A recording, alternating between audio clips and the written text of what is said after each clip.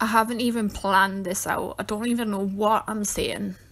But life throws you curveballs and when shit hits the fan, you know you've just gotta do something like make a sped up video of putting your clothes away.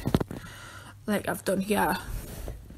Yeah, it might seem silly or something like that. But I am telling you, the past few weeks have been absolute hell for me. My weekly vlogs have been all over the place. And I wish I could do more, but I can't. So, this is me putting my clothes away.